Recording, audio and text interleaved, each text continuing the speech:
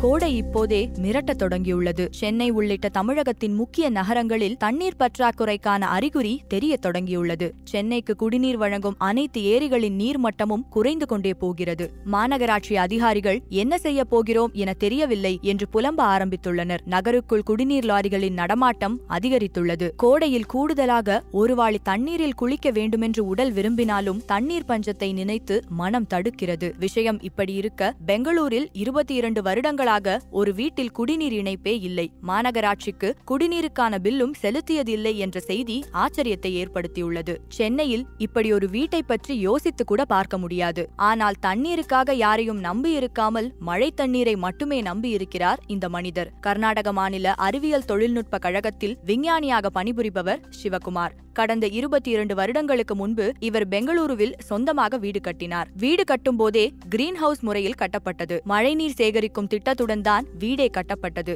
வீட்டுக்குள்ளேயே நாற்பதுக்கு அறுபது என்ற வகையில் பிரம்மாண்டமான தொட்டி ஒன்று அமைக்கப்பட்டது. வீட்டு மாடியும் மழைநீர் சேகரிக்கும் வகையில் வடிவமைக்கப்பட்டது. அதாவது இந்த வீடே சிறிய தடுப்பணை போலத்தான் அல்லது மழைநீர் தரும் சோலைக்காடுகள் போல கட்டப்பட்டது. பெங்களூரு நகருக்கு ஆண்டுக்கு தொள்ளாயிரம் முதல் ஆயிரம் மில்லிமீட்டர் வரை மழை பொழிவு கிடைக்கிறது. கிடைக்கும் மழை அப்படியே சுத்திகரிக்கப்பட்டு தொட்டியில் சேமிக்கப்படுகிறது. இதற்காக வீட்டின் கூரையில் சிறிய எளிமையான சுத்திகரிப்பு மையம் செயல்படுகிறது. எந்த சமயத்தில் மழை பெய்தாலும் தொட்டியில் தண்ணீர் சேர்கிறது. இந்த தொட்டியில் அதிகபட்சமாக நாற்பத்தி ஐந்தாயிரம் லிட்டர் தண்ணீர் சேகரிக்க முடியும். அது மட்டுமல்ல பயன்படுத்தப்பட்ட தண்ணீரையும் கூட சிவகுமார் குடும்பத்தினர் வீணடிப்பதில்லை. வாஷிங் மெஷினில் பயன்படுத்தப்பட்டு வெளியேறும் தண்ணீரை கூட வாளிகளில் பிடித்து கழிவறையை சுத்தம் செய்ய பயன்படுத்துகின்றனர். சமையலறையில் பயன்படுத்தப்பட்டு வெளியேறும் தண்ணீர் தனிக்குழாய் வழியாக வீட்டுக்கு வெளியே வருகிறது. அது அப்படியே சேகரிக்கப்பட்டு செடிகளுக்கு ஊற்றப்படுகிறது. மழைநீர் சேகரிப்பிலும் தண்ணீரை சிக்கனமாக செலவழிப்பதில் நாட்டுக்கு முன்மாதிரியாக இருக்கிறார் சிவகுமார். இது குறித்து சிவகுமார் கூறுகையில் வீட்டை கட்டும்போதே திட்டமிட்டு கட்ட வேண்டும். மழைநீர் சேகரிப்பு எவ்வளவு முக்கியமோ அதுபோல் சுத்திகரிப்பும் மறுசுழற்சியில் பயன்படுத்துவதும் முக்கியமான விஷயம். இது எங்கள் குடும்பத்தின் கூட்டு முயற்சி. எனது மனைவி சுமா அவரது தங்கை வாமிகா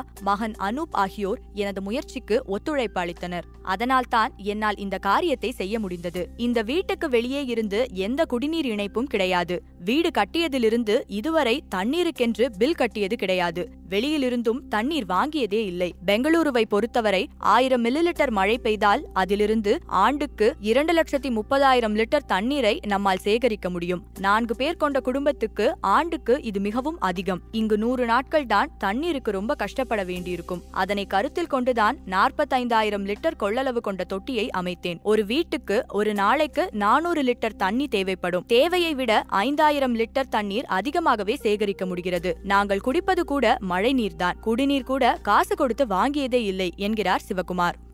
மேலும் இதுபோன்ற செய்திகளை தெரிந்து கொள்ள சுட சுட சேனலை சப்ஸ்கிரைப் செய்யுங்கள்.